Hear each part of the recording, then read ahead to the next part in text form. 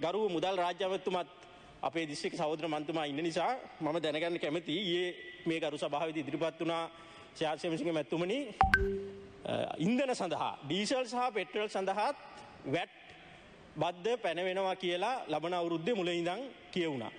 ඒක එහෙමද කියලා මම ඔබතුමාගෙන් දැනගන්න කැමති ලබන අවුරුද්දේ ජනවාරි පළවෙනිදා ඉඳන් ඩීසල් සහ පෙට්‍රල් වලට 18%ක වැට් බද්ධ පැනවෙනවද කියලා. ඔබතුමාට දැම්ම උත්තරයක් දෙන්න පුළුවන් දෙයකට? ඕ මම උපකල්පනය කරනවා එහෙමනම් එක එහෙම වෙන්න ඇති කියලා.